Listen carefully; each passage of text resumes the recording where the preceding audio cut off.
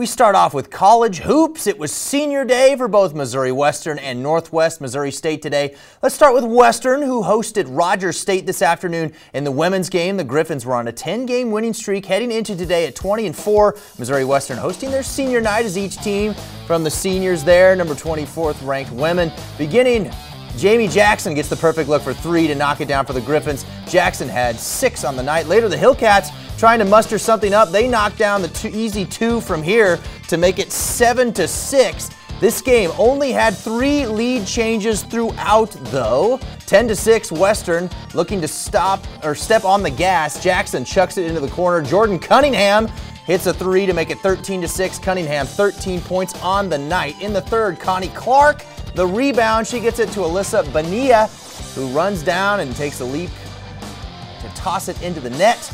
Pretty much the Lady Girls waving bye-bye in this one. Western wins 57 to 43. They're 21 and 4 on the season. The Griffs are now on an 11-game win streak. Of um, our seniors and what they've done in their time here, you know, their commitment to our program, um, how hard they've worked, um, how they've led and, um, and helped develop um, the program has been a big part of, of them and who they are and, and the work they've put in. Um, you know, we've had most of them for four. They've been a part of some special things and some great seasons, and obviously our season's not over.